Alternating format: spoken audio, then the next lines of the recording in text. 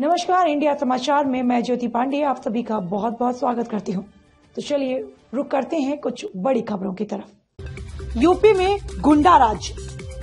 उत्तर प्रदेश के मुख्यमंत्री योगी आदित्यनाथ अपने चुनावी सभाओं में गुंडे बदमाशों की जगह जेल या सीधे ऊपर बताते हैं।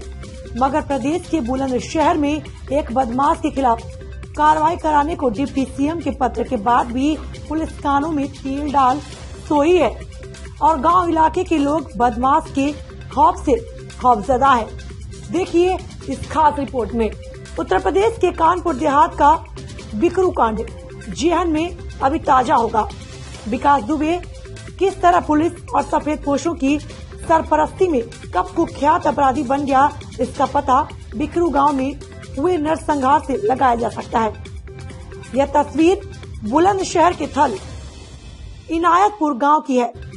गाँव की सड़कों में सन्नाटा है और घर में बिलाव रोटी धधकती यह महिलाएँ पुलिसिया कार्रवाई की गाथा सुना रही हैं।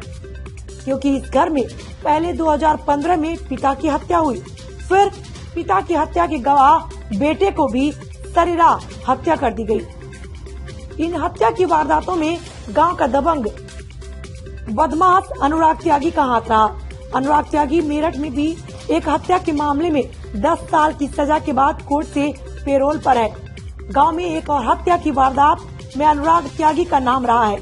चार हत्याओं में नामजदगी और सजा के बावजूद अपने रसूख पर यह अपराधी जेल से बाहर है।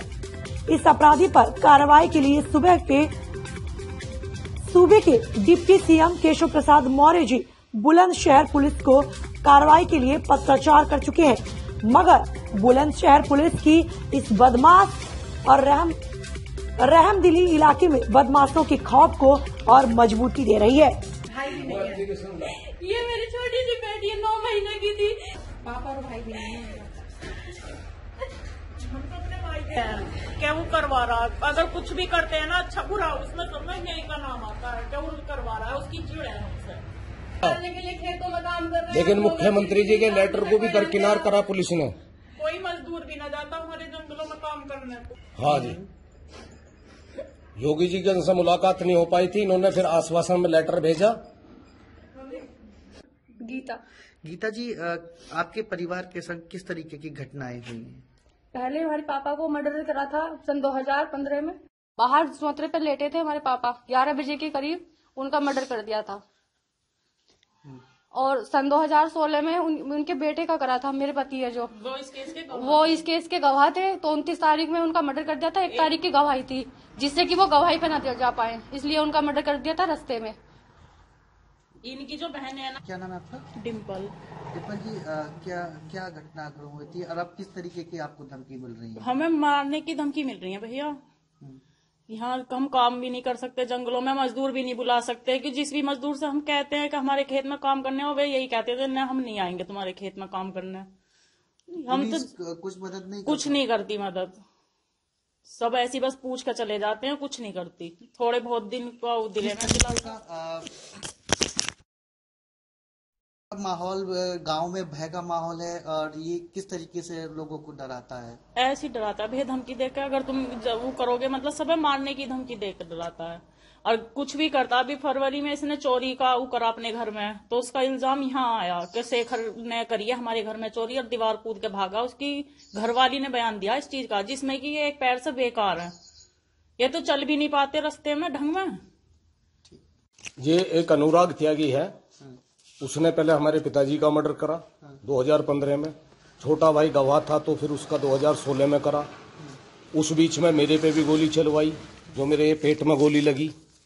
हम्म, मैं एक पैर से अपंग हूँ। उसके बाद में उसने अपने घर में चोरी का ड्रामा रचवाया।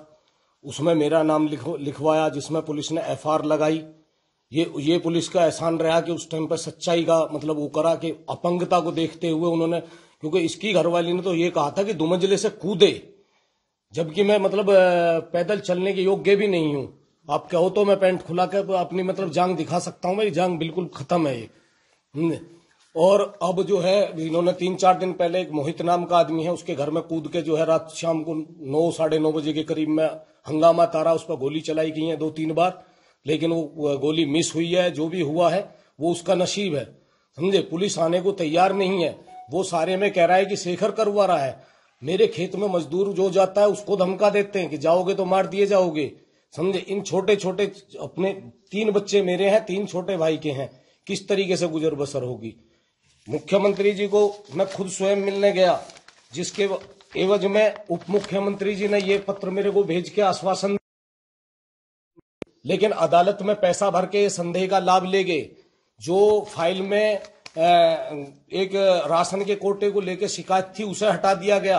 फोरेंसिक रिपोर्ट को जज साहब कह रहे हैं कि पढ़ने में नहीं आ रही। अगर जज साहब के पढ़ने में नहीं आ रही तो फोरेंसिक लैब वालों को बुलाया जाता। या फिर वो जज किस बात के हैं, जब उनके पढ़ने में नहीं आ रही तो वो जजमेंट क्यों दे रहे हैं? एक कोतवाल का बयान बयान हुआ, लेकिन उसकी जिरह नहीं हुई। कितना तजुर्बे तजुर्बे की बात है कि अदालत जैसी जगह भी, जिस पर न्याय का मंदिर समझ गाँव में राजनीति से लेकर ज़मीन जायदाद के दखल में अनुराग त्यागी का रसूख देखने को मिलता है। उसकी दबंगई के आगे गाँव में कोई आवाज़ नहीं उठाता। बताते हैं कि जिस जिसके ने अनुराग के खिलाफ आवाज़ उठाई, उसकी हत्या कर दी गई। ताज़ा वारदात के बाद मामले में बुलंदशहर पुलिस अभी भी कुछ भी कहने से बच रही है। शायद बुलंदशहर पुलिस को अभी किसी बड़े कांड का इंतज़ार है। मेरा नाम अमजद है। जी आ, क्या हुआ था आपके साथ? हमारे साथ में मेरा मेरा मेरा, मेरा भाई जो वो राशन लेने गया। उसने कि भी तुम कम क्यों दे रहे हो? जब कम की बात आई तो उनको बहुत बुरा लगा। जब उन्होंने क्या काम करा? दे रहे पड़त दे रहे पर हम तो गरीब आदमी हमने तो चले आए। किस तरीके का भय है उसका? गाँव में कोई विरोध क्यों नहीं करता विरोध जो नहीं करते? थे वो तो बदमाश है ही। डरते है अरे तुम्हें बता करने की ज़रूरत ना है। आपको कुछ ना। करना भय तो है ही ना कहीं भय की तो युवा जब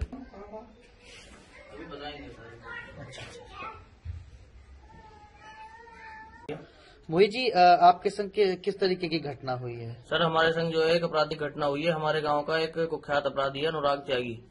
वो गाँव के तीन लड़कों के साथ तीन लड़के गाँव के थे हमारे आदित्य उमेश और अनुराग। और एक कोई बाहर का शूटर था उनके साथ आया। उसने पहले मुझसे यहाँ अंदर बेड से यहाँ हाथापाई की और यहाँ से मुझे खींचने के बाद यहाँ लाकर उसने तीन बार मुझ पर पिस्टल से फायर करा मुझ पर और मेरी माता जी पर लेकिन वह पिस्टल किसी वजह से चल नहीं सकी। हम्म। किस तरीके का अपराधी है अनुराग? अपराधी क्या जी? वो पुराना मुलजिम है वो कई बार पहले कत्ल कर चुका है दो कत्ल हमारे गाँव में कर चुका है एक पहले बाहर कर चुका है। बाहर के एक कत्ल में मेरठ ज़िले के कत्ल में वो सजाया याफ्ता भी है। वो बच गया था। उसमें तीन सौ सात लगी हुई है उसमें दस साल के कारावास पे वो जो अपील पे छूटा हुआ है। इलाहाबाद से। अपील पर छूटा हुआ है। और पिछली जुलाई में छह सात जुलाई को अभी छूट कर आया दो मर्डर केस में। क्या नाम है मतलब आपका? मेरा नाम बुद्ध प्रकाश। हाँ जी आपके बेटे के संग किस तरीके की घटना हुई है और गाँव में उसका कितना भय है? गाँव में उसका ऐसा आतंक बना हुआ है जी उसके सामने कोई बोलने को तैयार नहीं है। मैं एक ऐसे मोहल्ले में रह रहा हूँ जो जाटों का मोहल्ला है। उसके सामने कोई बोलने को तैयार नहीं है। मेरा एकला घर है यहाँ, और ना कोई मेरी मदद करने को तैयार है, ना उसके भय से कोई यहाँ आने को तैयार है। वो एकदम बाहर से आया, मैंने अपने पास में बैठाया मैंने उससे कही तेरे हमारे बड़े बूढ़ों की बहुत दिन से उठ बैठ है तो आज उसे भी खत्म कर रहा है। इतनी देर में उन्होंने मेरा लड़का भीतर से खींच लिया, और बस बाहर को मैंने मेरे घर वाले दोनों धकेला इतना वहाँ मोंडे पहुँचा दूसरे से बोला मार गोली। उनने पिस्टल चलाई तीन बार पिस्टल चलाई उनने बाकी गोली नहीं निकली।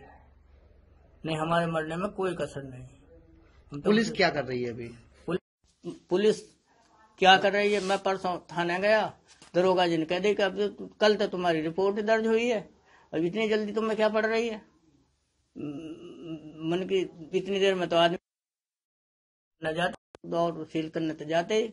मन की तो आज के बाद में हम नहीं अब तुम्हारा दोहरा अब हम पे कहीं कुछ होएगा तो करेंगे ना तो बस यहाँ तक की घटना हमारे नॉलेज में है। अब पुलिस क्या कर रही है, इसे पुलिस जाने। बदमाश अनुराग त्यागी की दबंगई गाँव में कुछ इस कदर यूँ है कि हाल ही में होने वाले पंचायत चुनाव में अपने गुर्गों को चुनाव मैदान में एक तरफा जीत के लिए दूसरे खड़े हो रहे प्रत्याशी के घर पहुंचकर पिस्टल से फायर कर दिए। मगर गनीमत इस बात की रही कि पिस्टल से फायर नहीं हुआ, जिससे चुनावी प्रत्याशी की जान बच गई।